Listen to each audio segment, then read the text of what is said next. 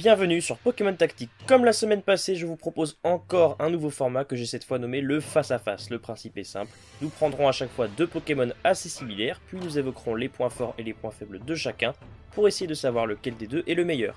Et pour commencer, rien de tel qu'un face à face entre les deux Chifours, à savoir Chifour style point final de type ténèbres, et Chifour style 1000 points de type eau. On va commencer avec Chiforce point final, donc de type combat et ténèbres, un très bon double type, intéressant défensivement car offrant une immunité psy et une double résistance ténèbres, mais surtout extrêmement puissant offensivement, le duo de stab combat et ténèbres étant l'un des meilleurs du jeu à tel point qu'il n'est résisté que par 43 Pokémon parmi tous les Pokémon existants. La plupart de ces Pokémon sont des types fées, résistant à la fois à combat et ténèbres, mais Chiforce a accès à tête de fer et direct toxique, tous deux super efficaces évidemment contre les types fées, et ainsi, avec un stab combat, un stab ténèbres et une attaque acier, il touche efficacement tous les Pokémon du jeu sans exception.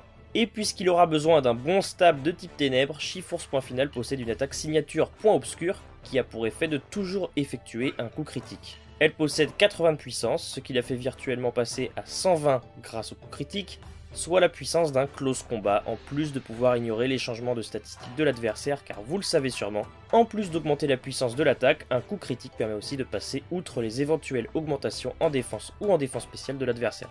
Passons ensuite à Chiforce 1000 points. Il est de type combat et haut, un type plus intéressant défensivement car offrant un total de 6 résistances, mais moins intéressant offensivement car deux fois plus résisté comme vous le voyez à l'image, avec cette fois 103 Pokémon qui résistent à son duo de stab, parmi lesquels on retrouve des Pokémon très populaires comme Predasteri, Flagados ou encore Golet. Son attaque signature c'est Torrent de coups qui, comme point obscur, inflige systématiquement un coup critique. Elle a pour effet de frapper en 3 fois à une puissance de 25, ce qui fait donc 75, soit 5 de moins que le point obscur, ce qui n'est pas énorme non plus. Et l'avantage de frapper en plusieurs fois, c'est que cette attaque peut ainsi briser les ceintures force adverses, ce qui va s'avérer très utile dans de nombreuses situations.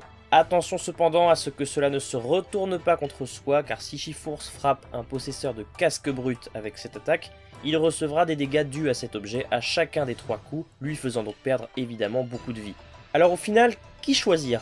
L'un peut toucher efficacement n'importe quel Pokémon, tandis que l'autre offre plus de résistance et peut briser des ceintures force. J'aurais plutôt tendance à pencher pour Chiforce point final, car pour un Pokémon offensif, je trouve plus intéressant d'avoir accès à une couverture offensive parfaite que d'apporter quelques résistances en plus.